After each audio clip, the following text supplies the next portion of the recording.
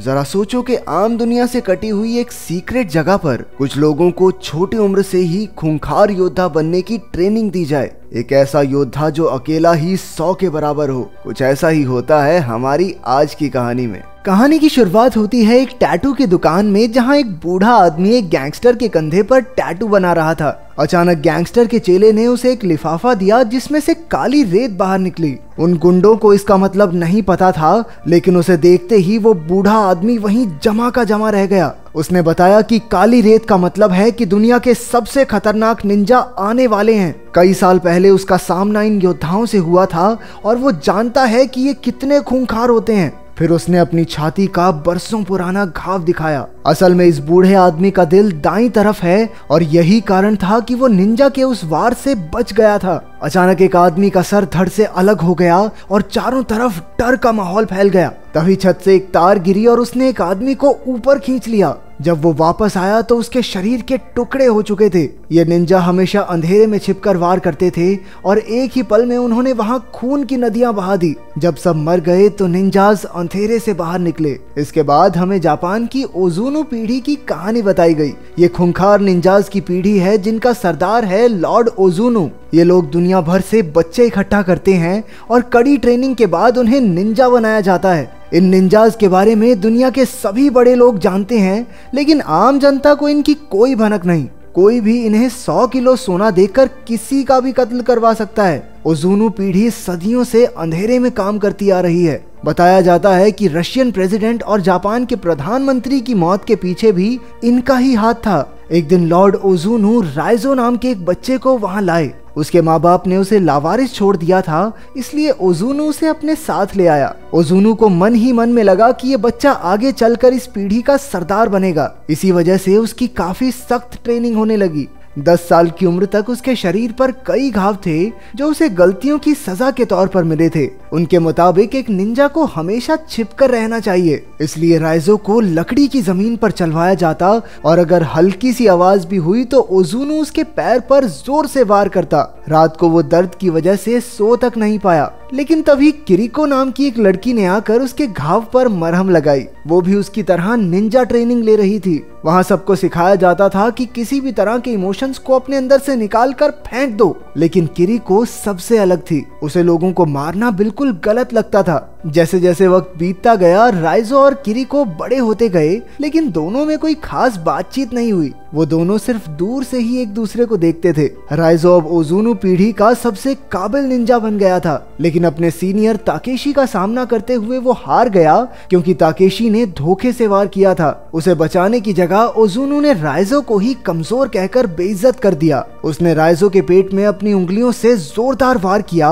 और वो बेचारा दर्द से करहाने लगा। अगली सुबह ओजूनू ने देखा कि राइजो फिर से ट्रेनिंग के लिए तैयार था। उसकी लगन देखकर ओजूनू काफ़ी खुश हुआ। जल्द ही राइजो ने अपने सारे विरोधियों को आँख बंद करके भी हरा दिया, लेकिन किरिको को वहाँ की मारा मारी अब भी पसंद नहीं थी। राइजो अक्सर उसे समझाता था कि अगर ओजूनू को पता चल गया तो वो किरिको का दिल निकाल लेगा। फिर किरिको ने कहा, लेकिन मेरा दिल तो तुम्हारे पास है तो कोई कैसे निकालेगा? एक दिन किरिको को चाकू से किसी को मारने का टास्क मिला। जब किरिको से ये नहीं हुआ तो ओजूनू ने उसके चेहरे पर चाकू मारकर उसे पिंजरे में बंद कर दिया। रात को राइजो छिपकर उससे मिला और उसे पानी पिलाया। कुछ दिन बाद एक रात को किरिको दीवार फांद कर भागने लगी। उसने राइजो को भी अपने साथ बुलाया, लेकिन रायजो उजुनू के लिए वफादार रहा। आखिरकार वो पकड़ी गई और अब उसे मौत की सजा होनी थी, ताकेशी ने सबके सामने उसके दिल पर वार करके उसे मार डाला। उस दिन राइजो के अंदर भी कुछ मर गया, लेकिन वो फिर भी ओजूनू से जुड़ा रहा।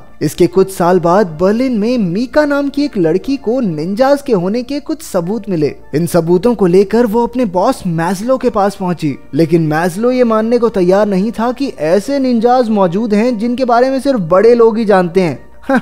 ऐसा कुछ नहीं होता। इसलिए मीका ने उसे सबूत दिखाए कि बड़े लोगों का पैसा इधर उधर होने में और कई नेताओं की मौत में निंजाज का ही हाथ है। अब मैजलो ने इसके बारे में और जानने का फैसला किया। उन्हें पता चला कि सेबैटिन नाम के एक जासूस ने भी ऐसे सबूत इकट्ठा किए थे, लेकिन जल्द ही उसे काम से निकाल दिया गया और किसी ने उसका खून कर दिया था। उधर राइजो भी किसी खास काम के लिए बर्लिन में था। वो एक सुनसान से घर में अकेला था और हर सुबह कड़ी ट्रेनिंग करता। एक दिन वो कपड़े धोने की दुकान पर गया, जहाँ उसे एक औरत दिखी। उसे देखते ही राइजो समझ गया की वो भी एक निंजा है। उसी वक्त दोनों ने एक दूसरे पर वार किया और एक ज़बरदस्त लड़ाई शुरू हो गई। कुछ देर बाद हमने देखा कि राइजो उस लड़की को एक वॉशिंग मशीन में भर के चला गया था। उधर मीका उस जासूस की पत्नी से मिलने पहुँची, जिसे निंजास के सबूत मिलने पर मार दिया गया था। उस औरत ने बताया कि यूँ तो उसका पति काफ़ी हिम्मत वाला था, लेकिन उस घटना के बाद वो इतना डर गया कि घर के हर खिड़की दरवाजे पर कम से कम दो ताले लगा कर रखता। घर के हर कोने में रोशनी रहती थी। उसने परछाइयों के लिए कोई जगह छोड़ी ही नहीं कि कहीं कोई निंजा ना आ जाए। लेकिन उस रात जब वो आए तो बत्तियाँ अपने आप ही बंद होने लगी।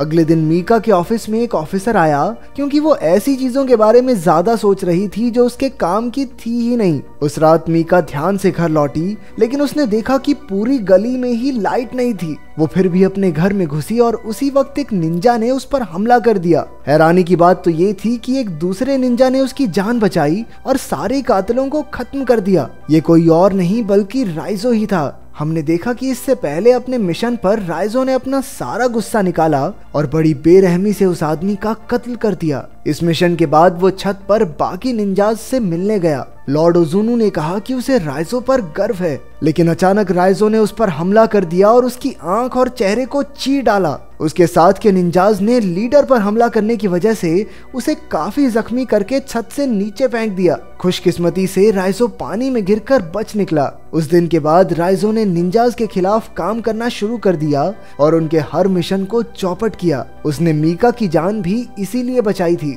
इसके बाद दोनों एक होटल में पहुँचे और अपने कपड़े बदले, क्योंकि निंजा खास सूंघने की शक्ति से इंसानों तक पहुँच जाते हैं। फिर मीका ने मैजलो को बताया कि वो तो राइजो के साथ है, लेकिन मैजलो को तो राइजो को पकड़ने के ऑर्डर्स मिले थे। वो जानता था कि राइजो उनका दुश्मन नहीं है, लेकिन उसे ऑर्डर तो मानने ही होंगे। इसलिए जब मैजलो, मीका और राइजो से मिलने गया तो पुलिस ने उसे बंदी बना लिया। फिर उसे एक सुनसान जेल में कैद करके जंजीरों से बाँध दिया गया। जब मीका को पता चला कि इसमें मैजलो भी मिला हुआ है तो वो उससे बात करने गई। लेकिन मैजलो उसे रिहा करने के लिए हरगिज राज़ी नहीं हुआ, क्योंकि राइजो जेल में ही निंजाज से सुरक्षित रह सकता है। रात को मीका राइजो को पानी पिलाने गई, लेकिन फिर राइजो कहने लगा कि निंजाज किसी भी वक्त यहाँ आ जाएँगे। मीका ने मैजलो को भी सावधान करने की कोशिश की, लेकिन अब बहुत देर हो चुकी थी। अचानक लाइट्स चली गई और निंजाज अंधेरे से बाहर निकले। उन खतरनाक योद्धाओं के सामने जाबाज सैनिकों की फौज और उनके हथियार भी कम पड़ गए। तभी मीका ने राइजो की जंजीरें खोलकर उसे रिहा कर दिया। फिर उसने निंजाज का मुकाबला करते हुए मीका को भाग जाने को कहा। हालाँकि राइजो ओजोनो पीढ़ी का सबसे बेहतरीन निंजा था, लेकिन इतने सारे निंजाज को एक साथ संभालना उस पर भी भारी पड़ रहा था। अंत में राइजो और ताकेशी लड़ते हुए सड़क पर पहुँच गए। ताकेशी अपनी तलवार से राइजो का काम तमाम करने ही वाला था कि मीका ने पीछे से अपनी गाड़ी से उसे टक्कर मार दी। फिर वो राइजो को होटल में ले आई। हालाँकि राइजो काफ़ी जख्मी था, लेकिन वो डॉक्टर के पास जाने को राज़ी नहीं हुआ। मीका कमरे में बेहोश पड़े राइजो के पास बैठ गई। मीका ने अपनी जान बचाने के लिए राइजो का शुक्रिया अदा किया। फिर उसने एक ट्रैकिंग डिवाइस निकाला, जिससे मैजलो को उसकी लोकेशन का पता चल जाए। लेकिन पुलिस के आने से पहले ही निंजाज आ गए और राइजो को उठाकर ले गए। जब पुलिस पहुँची तो वहाँ सिर्फ़ मीका थी। उसने बताया कि 10 मिनट पहले ही वो लोग राइजो को वहाँ से ले गए। उधर राइजो को लॉर्ड उजुनु के सामने पेश किया गया। उसने राइजो को माफ़ी मांगने का आखिरी मौका दिया, लेकिन राइजो ने कहा, मैं झुकेगा नहीं, साला। इससे ओजुनु का गुस्सा सातवें आसमान पर पहुँच गया, क्योंकि कुछ साल पहले तक तो उसने सोचा था कि यही लड़का आने वाले समय में पूरे कबीले का सरदार बनेगा। उसने राइजो को किरिको की जगह खड़ा किया और फिर अपनी उंगलियों से तीन बार खतरनाक वार किए। आमतौर पर ओजुनू के एक ही वार से लोग मर जाते थे, लेकिन राइजो ने तो बस खून की उल्टी की। उसके साथ साथ ट्रैकिंग डिवाइस भी बाहर आ गया। उसी वक्त मीका ने पूरी पुलिस फौज के साथ हमला करके खलबली मचा दी। कई निंजाज धमाकों में मारे गए। इस खूनी जंग में दोनों तरफ़ से कई लोग शहीद हुए। वहीं राइजो को ताकेशी और उसके आदमियों ने घेर लिया। राइजो ने आव देखा ना ताव और एक एक करके सबको धूल चटा दी। फिर ताकेशी और राइजो आमने सामने आए और अपना पूरा ज़ोर लगा दिया। आखिरकार जीत राइजो की हुई और उसने ताकेशी के शरीर का एक हिस्सा काट फेंका। अब बारी थी ओजुनु की। उसने देखा कि ओजुनु एक कमरे में आराम से बैठा था। वहीं बाहर ज़बरदस्त धमाके हो रहे थे। अचानक ओजुनु हवा में ही गायब हो गया और राइजो के पीछे के अंधेरे से निकला। सिर्फ़ एक धक्के से उसने राइजो को हवा में उड़ा दिया। फिर दोनों ने अपनी तलवारें निकाली और एक दूसरे के खून के प्यासे हो गए। ओजुनु ने एक बार फिर उसे माफ़ी मांगने का मौका दिया और कहा कि वो राइजो का बाप है। वो ही उसे वहाँ लेकर आया था और बचपन से आज तक पाला है। लेकिन राइजो ने जवाब दिया कि वो किसी का बेटा नहीं। और ओजूनू को खत्म करके ही वो आज़ादी की पहली सांस लेगा। फिर वो ओजूनू पर लपक पड़ा, लेकिन वो एक बार फिर से गायब हो गया। तभी मीका राइजो की मदद करने पहुँची। मौका देखकर ओजुनु ने पीछे से मीका की छाती के तलवार आर पार कर दी। ये देखकर राइजो को याद आ गया कि कैसे इन दरिंदों ने उसके बचपन के प्यार किरिको को मार डाला था। गुस्से से भरकर राइजो ने एक ही झटके में अपनी तलवार से ओजूनू के तीन टुकड़े कर दिए। राइजो मीका को बाहर लाया और डॉक्टर्स ने उसे देखा। पता चला कि मीका का दिल दरअसल दाई ओर है, इसलिए वो बच जाएगी। आखिरकार राइजो ने अकेडमी की दीवार फांदी और वैसा ही किया जैसा किरिको चाहती थी। इस तरह वो किरिको को अपने दिल में बसाए वहाँ से चला गया। क्या तुमने किसी को सच्चे दिल से चाहा है? और अगर हाँ तो तुम्हारा प्यार मुकम्मल हुआ या नहीं, कमेंट्स में ज़रूर बताना।